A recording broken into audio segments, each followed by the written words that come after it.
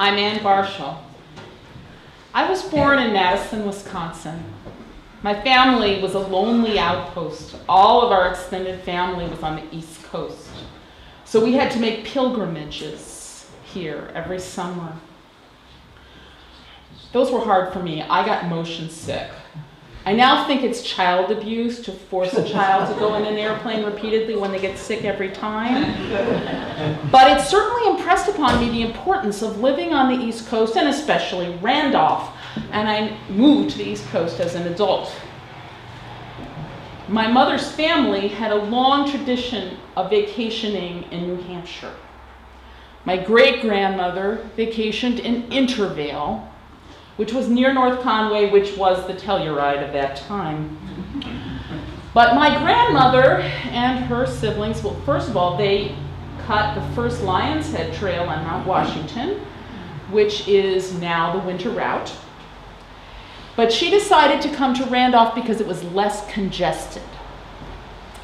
And my grandmother and her four children used to come up here for six weeks at a time because it was cool here and there was no air conditioning in New Jersey.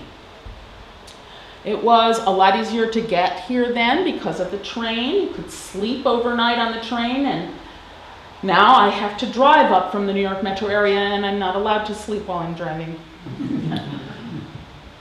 when I was a child, hiking was emphasized, and my mother would regale my brother and me with tales of how her siblings, Charlotte and Hank, who were more athletic, would pride themselves on beating guidebook time while hiking, while my brother and I were slow, and I have never succeeded in even getting to guidebook time. And even today, when I hike, I constantly berate myself for not being fast enough. Um, I ended up going to Dartmouth because it was near Randolph.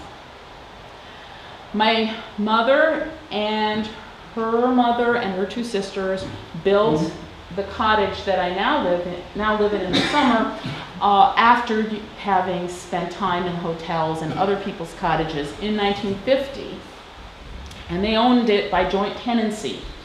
So my mother, being the last surviving sister, got it, and I now own it by joint tenancy with my brother who lives in California who never comes here.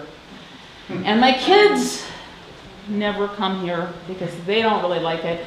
And my cousins still come sometimes to use the cottage, but they don't necessarily go out of their way to include me in their plans. Um, so Randolph has, in a way, become kind of another lonely outpost for me. And I sometimes think of selling the place but I never quite can. And it's really intriguing thing is that as I've been retiring from being a patent attorney, I've been getting into acting. And acting was something I learned about in Randolph, doing the charades, which was always one of my favorite things. And I've been taking classes at the Magnet Theater in New York City where they teach sketch, improv, and storytelling. And that's the closest thing I found in New York City to the charades. and so, in a strange way, that little school is Randolph for me.